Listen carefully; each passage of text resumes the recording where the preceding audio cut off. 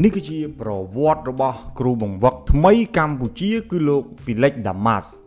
ជារឿងដ៏គួរឲ្យភ្ញាក់ផ្អើលផងដែរសម្រាប់ការវិលត្រឡប់របស់លោក Felix Damas ក្នុងនាមជាគ្រូបង្វឹករបស់ក្រុមជម្រើសជាតិកម្ពុជាបន្ទាប់ពីលោក Keisuke Honda លោក Felix មានឈ្មោះពេញថា Felix Agustin Gonzalez Damas គឺជាគ្រូបង្វឹកសញ្ជាតិអាសង់ទីនដែលគាត់មានវ័យ35ឆ្នាំគ្រូបង្វឹករូបនេះមានកម្ពស់1ម៉ែត្រ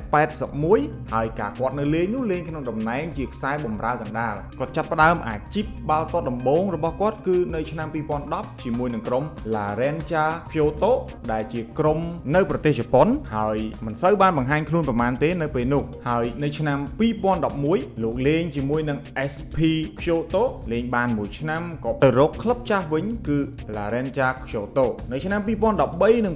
2014គឺជាពេលដែលលោកបានចូលរួមជាមួយនឹង Plaza Colonia ដែលនោះគឺជាក្រុមដ៏ចំណាស់មួយនៅ Oitagai ដែលនៅទីនោះលោកបង្ហាញខ្លួនបានតែ4លើកប៉ុណ្ណោះបើគិតទៅអាជីពបាល់ទាត់របស់លោកក្នុងក្លឹបដែលបានប្រកួតប្រជែងចំនួន4នោះគឺมันបានជោគជ័យនោះទេពលគឺបង្ហាញខ្លួនបានតិចប្រកួតមែនទែននៅឆ្នាំ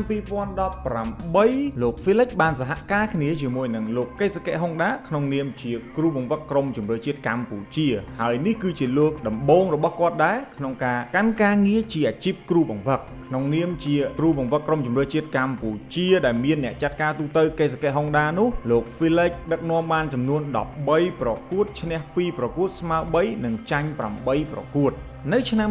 2020គ្រូបង្វឹកកាន់សញ្ញាបត្រ A license រូបនេះបានចែកផ្លូវគ្នាជាមួយលោក Keisuke Honda ហើយលោក Keisuke Honda ក៏បានរកគ្រូថ្មីមួយមកជំនួសតំណែងគ្រូបង្វឹករបស់ក្រុមជម្រើសជាតិកម្ពុជា ហើយនៅព្រឹកមិញនេះដែរលោក Felix Damas ត្រូវបានសហព័ន្ធបាល់ទាត់កម្ពុជាធ្វើសន្និសីទសារព័ត៌មានប្រកាសជាផ្លូវការនៅការវិលត្រឡប់មកសារជាថ្មីរបស់លោកបន្ទាប់ពីខកខានក្នុងការកាន់ការងារគ្រូបង្វឹកនេះអស់រយៈពេល3ឆ្នាំហើយសហព័ន្ធបាល់ទាត់កម្ពុជាក៏បានប្រកាសដែរថាលោកកេសកៈហុងដានឹងចែកផ្លូវគ្នាជាមួយក្រុមជម្រើសជាតិកម្ពុជាបន្ទាប់ពីបេសកកម្មរបស់លោកបានបញ្ចប់នៅការប្រកួតប្រជែង SEA Games លើកទី32កម្ពុជានាពេលខាងមុខនេះដូច្នេះអ្នកដែលរ៉ាប់រងការងារជាគ្រូធំក្នុងក្រុមជម្រើសជាតិឈុតធំក៏ដូចជាក្រុមអាយុក្រោម22ឆ្នាំ គឺជាការងាររបស់លោក Felix Damas ជំនួសវិញ បើតាមការលើកឡើងរបស់ក្រុមការងារបានបញ្ជាក់ថាកុងត្រារបស់លោក Felix Damas គឺដល់ទៅ4ឆ្នាំឯណោះពលគឺនៅឆ្នាំ2026ទើបបញ្ចប់